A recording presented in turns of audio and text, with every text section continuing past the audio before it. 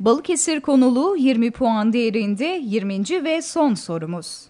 Şehrimizin ilk yüksek öğretim kurumudur. 1910 yılında eğitim öğretime başlamıştır. 1932-1982 yılları arasında Necati Bey Öğretmen Okulu, Necati Bey Eğitim Enstitüsü ve Necati Bey Yüksek Öğretmen Okulu adlarıyla öğretmen yetiştirmeye devam etmiştir. 1982 yılında Uludağ Üniversitesi'ne bağlanınca adı Necati Bey Eğitim Fakültesi olmuştur.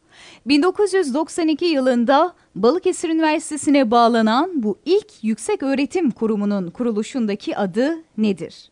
A. Karesi Sultani İdadisi B. Karesi Darül Muallimini C. Karesi Öğretmen Mektebi D. Balıkesir Sultanisi Okullar Yarışıyor adlı bilgi yarışmasının 22. bölümünde liseler bir üst tura yükselebilmek için mücadele etti. Fatma Emin Kutbar, Anadolu Lisesi Dilanaz B. Karasi Darül Muallimine. dediniz. İnebey, Anadolu Lisesi Nur. B. Karasi Darül Muallimine.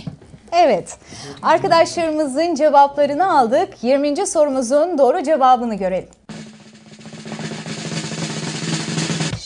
Doğru cevabımız B. Karasi Darül Muallimini. KRT ekranlarında canlı olarak yayınlanan Okullar Yarışıyor'u Fatma Emin Kutvar Anadolu Lisesi 204 puanla birinci tamamlayarak bir üst tura yükseldi. Yarışmada İnebey Anadolu Lisesi de 168 puan aldı. Yarışmaya katılmayan Adnan Menderes Lisesi de yarışmadan elendi. Evet 20. soruyla yarışmamızın soru bölümünü tamamladık. Yarışmayı Fatma Emin Kutvar Anadolu Lisesi 204 puanla tamamlayarak bu akşamın birincisi oldu. Bu akşam yarışmayı kazanan okulumuz oldu. İnebey Anadolu Lisesi de hemen arkasından yarışmayı 168 puanla e, tamamladı. Evet çocuklar güzel bir yarışma oldu uzun süre hep başa baş gitti. Ama daha sonra bazı heyecanlar, şaşırmalar, e, yarışmanın, ekranın, kameranın, kameranın stresiyle bazı hatalar yaptınız. Olsun bildiğiniz soruya da yanlış cevap verdiğiniz oldu. Ben buradan gözlemliyorum. Arkadaşlar arasında tartışma çıkıyor. Kimi A kimi B diyor ama herhalde çoğunluk neyse o oluyor. 3 masamız var. 3 okulumuz yarışacaktı ama 2 okulumuzla yarışıyoruz. Fatma Emin Kut var Anadolu Lisesi ve İnebey Anadolu Lisesi. Bu akşam olması gereken diğer okulumuz Adnan Menderes e, Anadolu Lisesi. Yarışmaya yarım saat kala televizyonumuzu arayarak yarışmaya hazırlanamadığından dolayı katılamayacağını bildirdi. Ve bu akşam e, yarışmaya katılmadığı için elenmiş oldu. Adnan Menderes Anadolu Lisesi elendi.